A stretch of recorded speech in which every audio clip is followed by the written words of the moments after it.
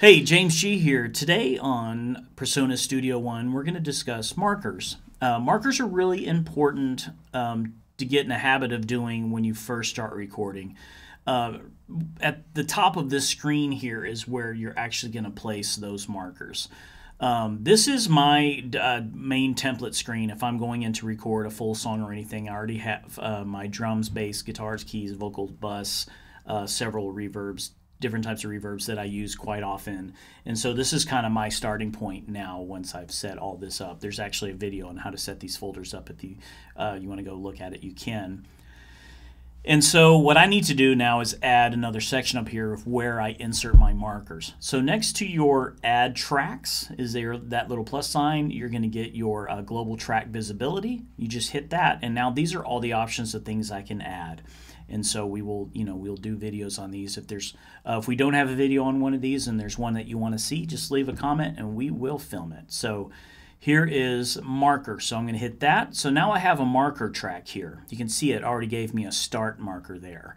I believe it defaults to five minutes. So you scroll way back here in five minutes you'll see the the end marker uh, there. So once you're adding a new song, if you think, oh, the song's going to be about three minutes, go ahead and put in three minutes and it'll kind of give you your end marker close to that.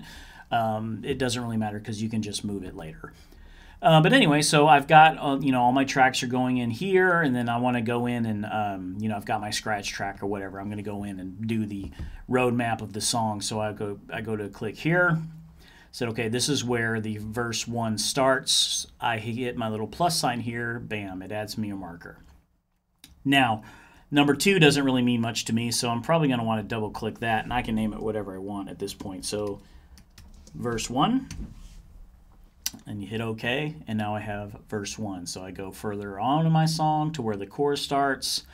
I hit my little plus sign, double click on that, and I can hit chorus, I go a little further. If I wanted to get rid of that, it would be that uh, minus symbol to get rid of it. So like plus one, I'm going to do this again.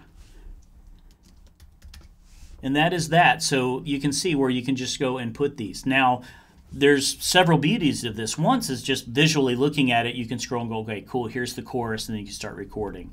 You can actually go down to your transport at the very bottom. You'll see this left arrow and right arrow are going to go to the previous markers here, and it just pops you right to it. Especially in a six minute song. I mean, you know, if you've got a long chorus, it, it will just, you know, it'll just take you right to that next verse, and then you go to the next chorus and you record uh, the background vocals and that or whatever. So, I think it's a very, very important thing to do is to get these markers set up begin. Now, you're always going to have a start and end marker. The only way you can see them is to add this marker uh, bit here.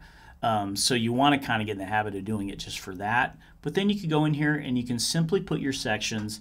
It's very easy to just double click on it, call it whatever you want, and then you have quick access to get around the entire roadmap of your song. It's very important to get to your markers.